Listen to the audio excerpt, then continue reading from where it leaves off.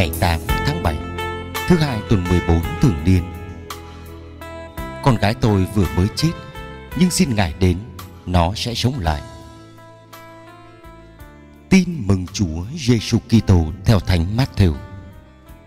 Khi ấy, Chúa Giêsu đang nói thì có một vị kỳ mục kia đến lạy người mà thưa rằng: Lạy Ngài, con gái tôi vừa mới chết, nhưng xin Ngài đến đặt tay trên nó thì nó sẽ sống lại. Chúa Giêsu trỗi dậy và cùng với các môn đệ đi theo ông ấy.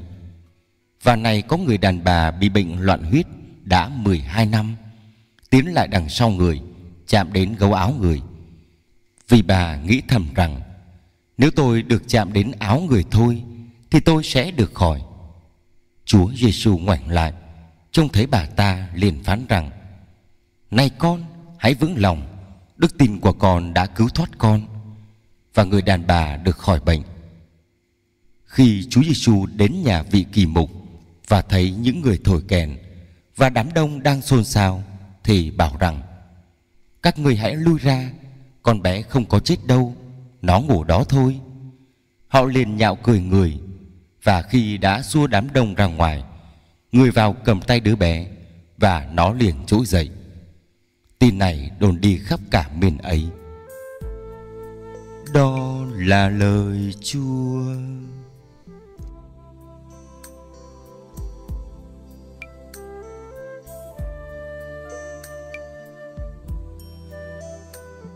Suy niệm và cầu nguyện, đón nhận và sẻ chia lòng thương xót. Đức tin của con đã cứu thoát con người đau khổ phần xác phần hồn là địa chỉ mà Chúa Giêsu tìm đến người mong ai đau khổ hãy tin tưởng vào ngài tin mừng hôm nay kể lại việc người chữa lành cho một bà loạn huyết nhờ một cái khẽ chạm vào gấu áo người và làm cho bé gái của người kỳ mục đã chết rồi được sống lại.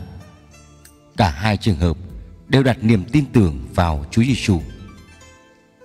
Một trái tim vô cảm, lạnh lùng, chai đá, một cõi lòng ích kỷ, kiêu căng thì không bao giờ có được ước muốn cứu người. Vì thế, ước muốn cứu người của Chúa Giêsu bắt đầu từ trái tim giàu xót thương của Thiên Chúa trong người con yêu rất hiền lành, rất khiêm nhường, rất vâng phục thừa hành ước muốn của Chúa Cha. Lòng xót thương bất chấp mọi đối kháng, mọi sỉ nhục, mọi rào cản là bài học xót thương cho các gia đình.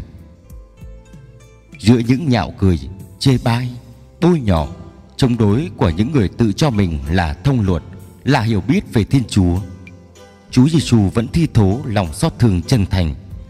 Cách hành xử của con người thời nay có vẻ cũng thế mình đã không làm việc lành phúc đức cho ai mà hễ thấy ai làm các việc lành phúc đức cho người thì mình lại cản trở hoặc bồi nhọ tại sao?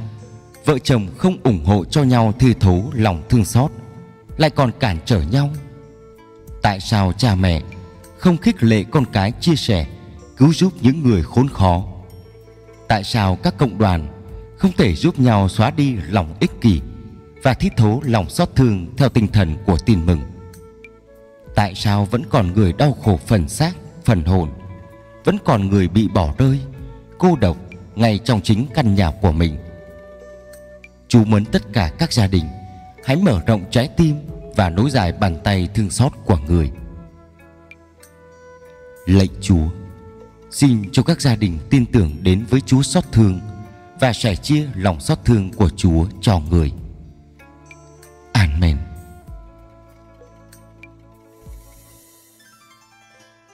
Nhìn một vòng thế giới, rồi nhìn lại đất nước, quê hương, nhìn làng xóm, rồi nhìn lại gia đình mỗi người, có thể thấy đang lấp lánh một màu xanh hy vọng dưới bóng chiều tím thế gian và những tiếng than van khôn tả của chiến tranh, bạo động, đói nghèo, đau khổ.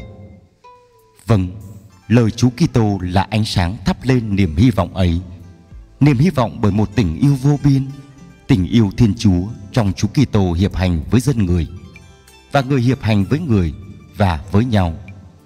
Hân hoan bước qua nỗi đau thương, sợ hãi mà tiến vào cõi bình an với lòng tín thác. Ước gì các gia đình ngộ ra chân lý huyền nhiệm của Thiên Chúa. Đường đau khổ là đường đưa tới vinh quang. Và trong niềm tín thác vào Chúa Giêsu đau khổ và vinh quang, mỗi người, mỗi nhà sẽ cùng hát lên. Bạn ơi, bước rộn ràng, rộn ràng, lời ca vang trên đường. Ta bước qua muôn ngàn nỗi đau thương. Bạn ơi, chú đồng hành, đồng hành dìu ta đi trên đường. Đường đau khổ là đường đưa tới vinh quang. Xin mọi người cùng hát với nhau đường hy vọng